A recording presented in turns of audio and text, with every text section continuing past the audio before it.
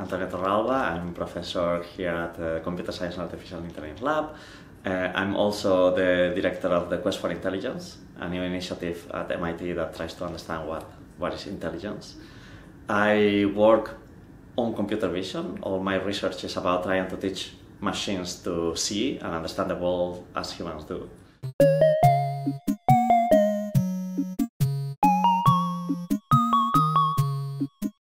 So since I started, I've been working mostly on projects that center around computer vision and also human cognition. How do humans see and interpret the world? And this is a very broad area of research, so there are many, many different types of projects from uh, object detection and understanding scenes to understanding food images and how do you translate a picture of a dish into a recipe. So it's really very broad. So computer vision is a technology that impacts many different sectors, uh, from healthcare to security and any industry that is uh, that has to mine the web, for instance, for visual content. Uh, autonomous vehicles, anything, anything, almost anything needs a visual system to understand the world. So it really impacts every, everything. So healthcare, for instance, will be image analysis. I don't. So my research doesn't really focus too much on understanding healthcare images, but uh, there could be things, for instance, uh, understanding pictures of tissue and trying to classify what type of cells there are inside, or understanding mammograms and so on. So there are lots of possible applications. We have a number of, of collaborations with industries.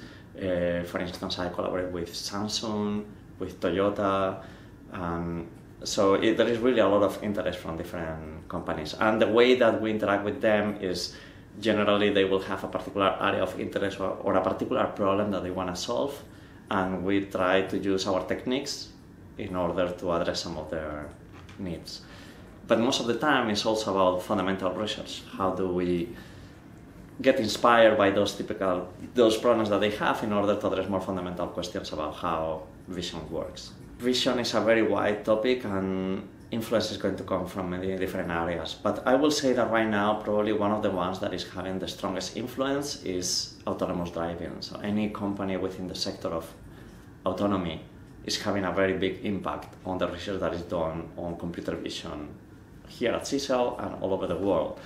But there are many other areas that will have a very strong influence. So, for instance, in the case of autonomous driving, understanding the scene that is in front of the car, understanding what pedestrians are trying to do, what other vehicles are trying to do, what are the traffic signs are telling telling you about the driving, and the road, recognizing the road, recognizing where the lanes are, the buildings around, where are you can you recognize where, in which location you are? All those different things rely on visual information. And having cars or autonomous vehicles capable of, of seeing the world as humans do will empower them to do this. So there are many other sensors that one could use, but vision is going to be the dominant one. So there are many challenges, and that's what makes computer vision so exciting. Uh, there, has been a lot of advances in the last years, but still, it's like there are so many other things that need to be solved. For instance, machines still, when they recognize objects, they are mostly doing what is called pattern matching. Now they memorize a number of appearances that objects might have, and they just basically match whatever they are seeing with one of those appearances. But they don't really reason about the visual world as humans do. We have what you know you could call visual intelligence, and you are able to understand new things that you have never seen before.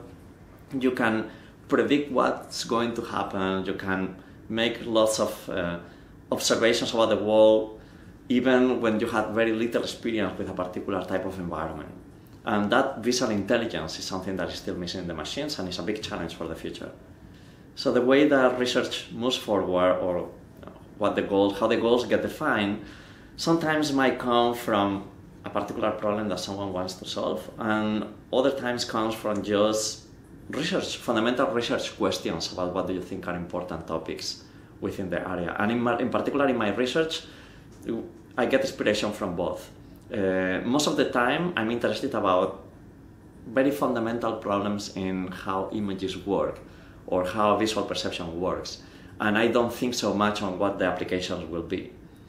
But of course, anything that gets addressed within computer vision gets immediately applied to some particular problem, some practical problems. So it's such a practical research area that it doesn't matter how fundamental your research is, there is always a practical component to it. So my long-term goals with the project that we have is really to understand how vision works. But not just vision, really perception. No? Perception is about sensing the world with many senses, not just the, not just the visual sense. And I want to understand all of those and how it integrates with cognition. So I started as a computer vision person, but I want to evolve into more a more general cognitive scientist or, or artificial intelligence scientist or something more general. I think many people are actually moving, moving in that direction.